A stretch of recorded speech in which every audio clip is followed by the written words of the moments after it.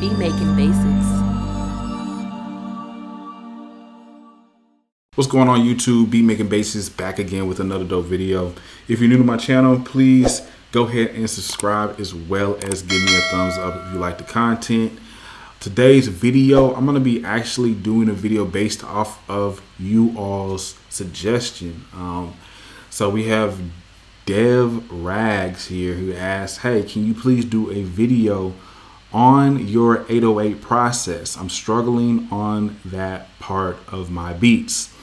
So that's what we're going to be doing. We're going to do a video that is based off of the process that I use to lay down 808 patterns. So what we're going to do is I'm actually going to start with a brand new track here and to make this simpler because since we're focusing on 808s I don't want to be messing around with the melody too much I'm just going to actually use a, um, a sample from quick from from splice or whatever so we're to go to the quick sampler click on the stereo and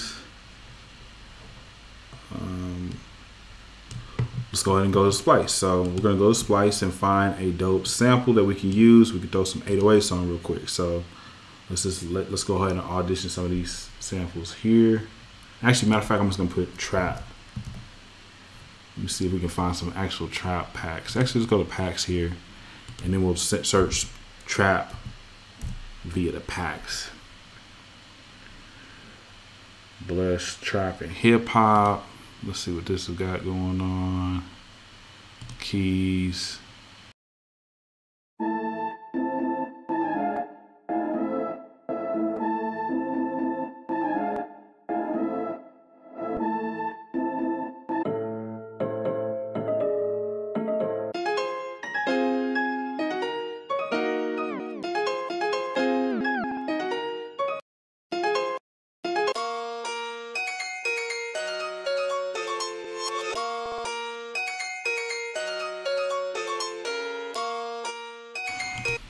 So that's that's a pretty dope one. We're just gonna go with this.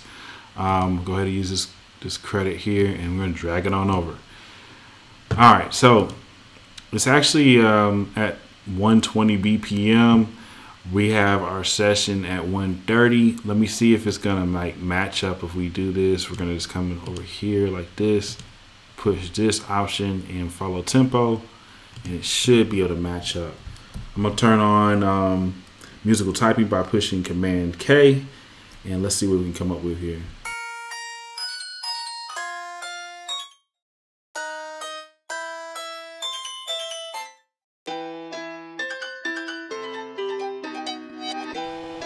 All right, cool. We're gonna try. We're gonna lay that down.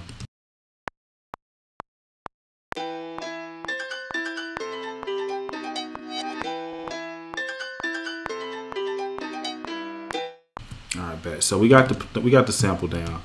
Now let's go ahead and uh, quantize it.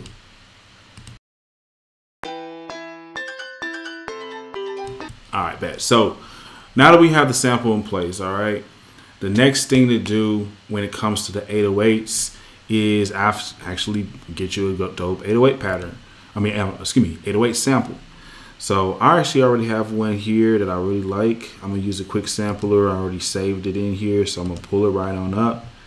Um, we'll go with this one right here. And, and the first thing you wanna do is actually find the key. And I'm not talking about finding the key on a technical aspect of things. You know what I'm saying? Especially when you use the samples, sometimes it can get sloppy and get all over the place because you know you're just pitching it up or down. When I say find a key, you basically want to match up the same tone, note of the sample, that, that same over, overall sound of the sample.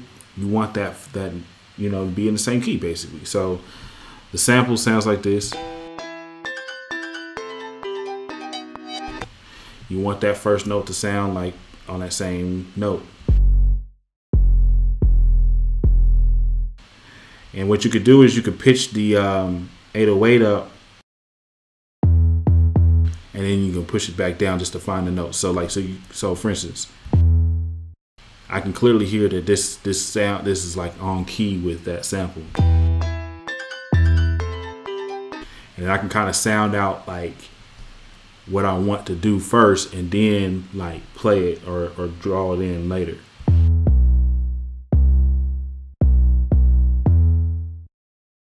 All right, cool. So now that we know these are the notes,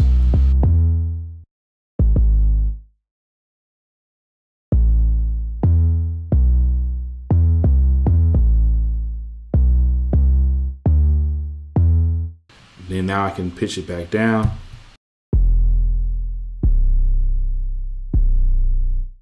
And I can come over here and play around with it. So obviously you want, you know, that first note, it should sound the same as that first note that's going to be playing in your sample. So you can lay that down. You feel me? And then you can go from there. So um, I'll come over here and quantize that.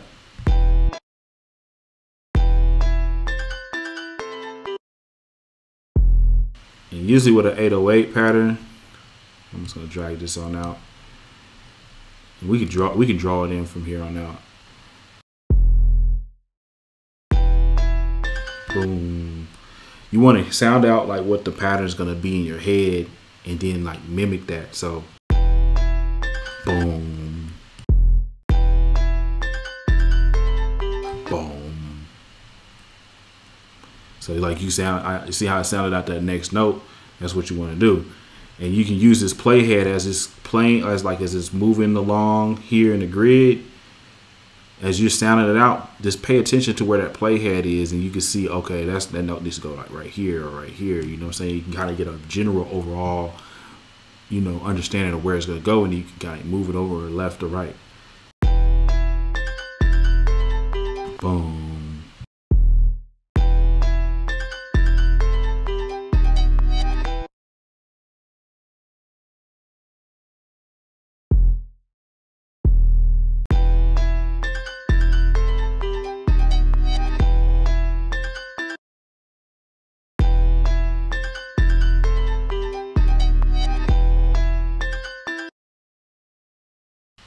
know, and you can keep it simple. And then like what you could do after you keep it simple is start getting more technical with it. So technically I can come over here and um, I can just repeat this. So I can come over here, highlight it, Command C, move this playhead, make sure it's right here, Command V to paste it. And then I can like move these notes around afterwards.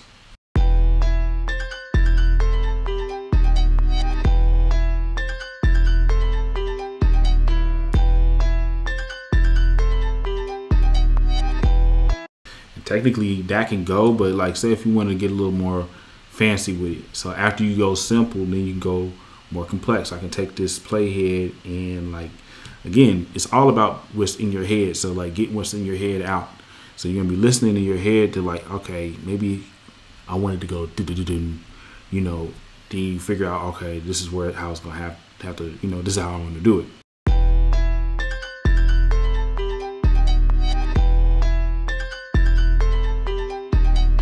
So like I hear this last note hitting twice, boom, boom. So what I'll do is I'll just cut this mug in half. Highlight it, Command T.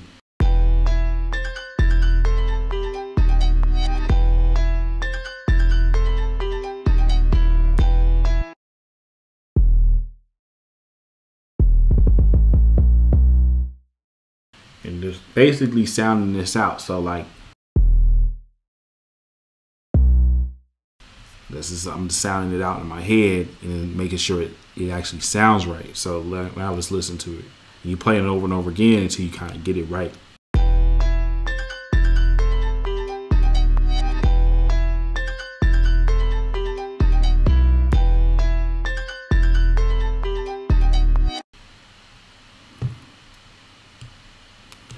And uh, what you can also do too to make your patterns a little bit more detailed is you can like instead of making a four bar loop you can make an eight bar loop so I can take this and just drag this on over like that by holding down option and then I can extend this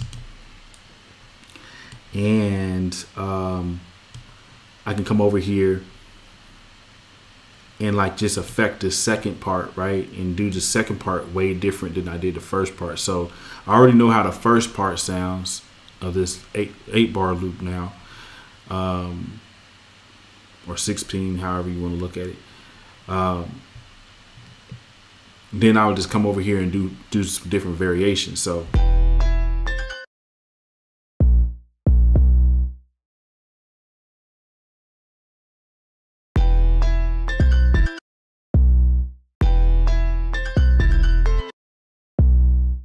And then you see how I'm just, I have to like adjust the note lengths. So like for instance, if I left that note like this, it would sound um, sloppy. So what I do instead is I'm just gonna adjust the note. I'm gonna adjust the note lengths as I go as well.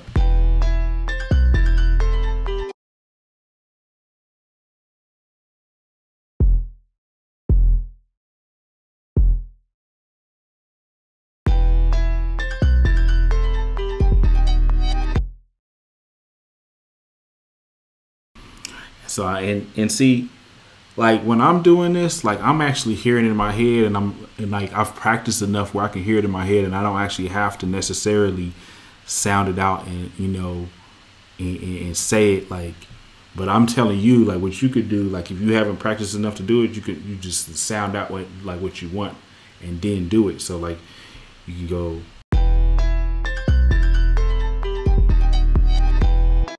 you could like you could have sounded it out. You say boom, boom, boom, boom, boom, boom, boom, and then you can come over here and like focus in on one part and keep on moving the notes around and chopping them up until it sounds exactly like what's in your head. That's all it's about, man. It's just figuring out what's in your head and putting it out here. You know, I'm, it's not about freestyling it all all the time. You know, you, you're hearing something in your head about it and then putting it over here. You just got to make sure that that number one is in key, all right, and then number two, that you know the notes are not blending in um, or running into each other with an 808. So, like for instance, once you get that part of it done, now you can work on this ending part.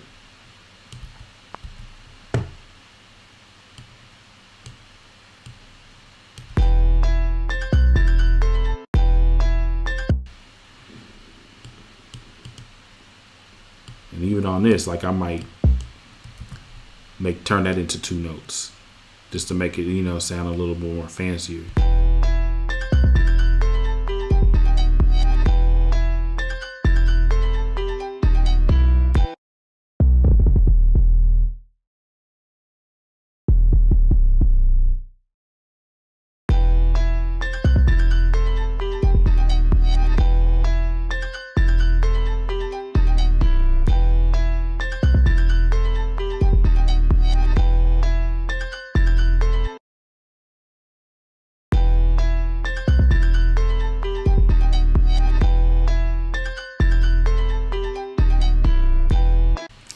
Then when you put it all together, so you have it, it just gives a whole vibe. So let's listen to it from the beginning.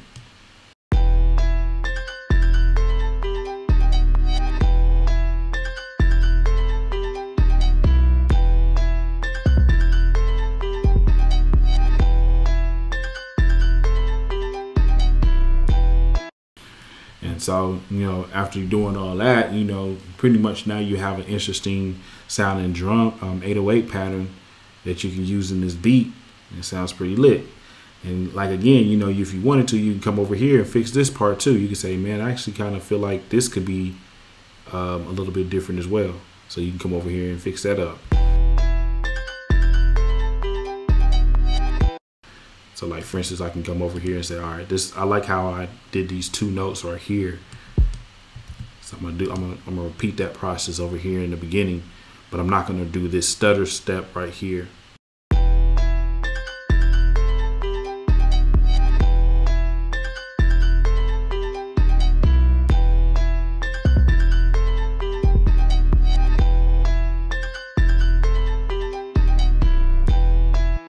And now that the pattern pretty much is ready to go. So like another thing too is to keep in mind is the velocity. settings as well. So uh, if you click this note, this guy right here, and usually you click this guy right here. If you don't see velocity, you can you can find it by clicking like this and finding it in here. But um, what you could do is some of these notes can be like different velocity like settings. I mean, when I say velocity, it's really dealing with how hard or how hard you press the note. Um, it's, it's a little bit different than volume, but it's, it's kind of like how hard you press the note. That's what velocity. That's what you're changing with velocity. So you can turn come over here and turn this all the way up.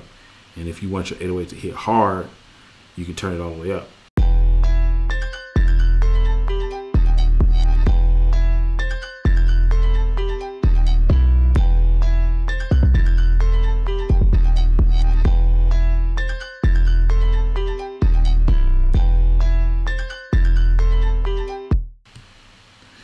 I think it's all about finding that sweet spot. I kind of liked it when it was a little, when it wasn't super hard hitting, to be honest with you. So I'm to turn it down just a little bit.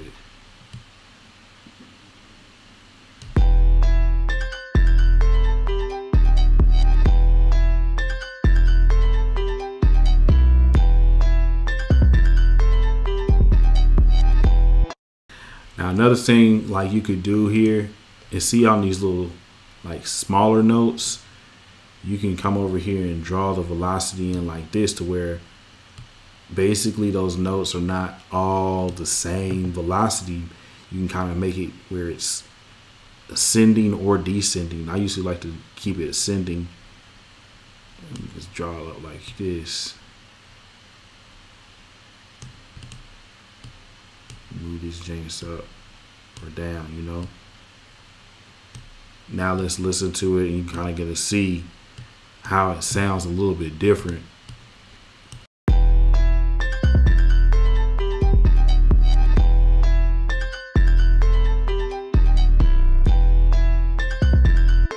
So it sounds a little it sounds a little smoother you feel me so like doing different things of that nature is really going to help you when it comes to creating your 808 patterns or whatever look look y'all this is the video I appreciate y'all listening and, and, and, watching my videos. Make sure you give me a thumbs up if you like the content.